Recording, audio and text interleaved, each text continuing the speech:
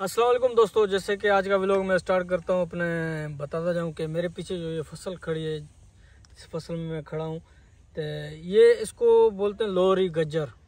लोहरी गाजर बोलते हैं वाइट गाजर। तो ज़्यादातर सर्दी में खाई जाती है ये, और लोग कोयलों के आग जला के, जिसमें मच कचहरी बोलते हैं मच कचहरी भी करते हैं, और साथ साथ में ये पकती हैं, ये खाते हैं।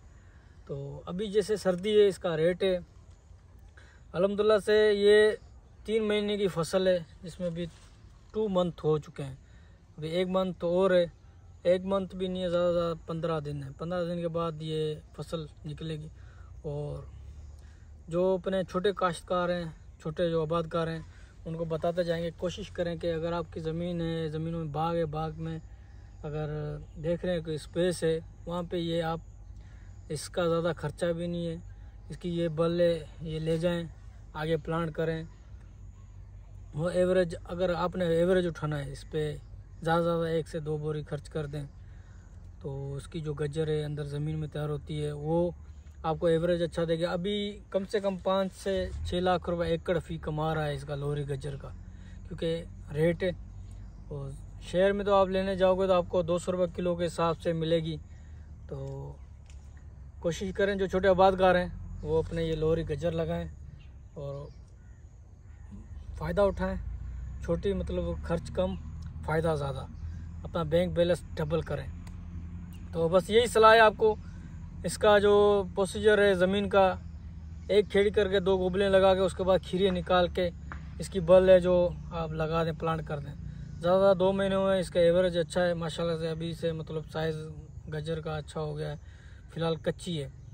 मतलब ज़्यादा मिठास नहीं आई। उसकी जो प्रोसीजर है, इसका तीन महीने का, तीन महीने में कंप्लीट हो जाएगा, तीन महीने के बाद इसकी जो लोहरी गजर है, वो आप खाएँगे तो मिठास और पकेगी, अच्छी मिठास करेगी। अभी जो जब ये निकालेंगे, आपसे हम वीडियो भी शेयर करेंगे, वो भी वीडियो शेयर करेंगे। और एवरेज भी अच्छा है इसका। ज़्यादा एवरेज तो उसी टाइम में पता चलेगा जब हम ये गज्जर निकालेंगे, कट्टे भरेंगे और कितना एकड़ बरताते हैं। अभी ठेकेदार कुछ आ रहे हैं, वो कोई दो लाख, तीन लाख, चार लाख रुपए एकड़ बोल रहे हैं। अभी देने का प्रोग्राम नहीं है क्योंकि अभी इसमें टाइम है। टाइम जैसे जैसे सर्दी बढ़ेगी, इसका रेट बढ़ेगा और ये दिसंबर में हम निकालेंगे ज़्यादा से ज़्यादा पंद्रह दिन के बाद।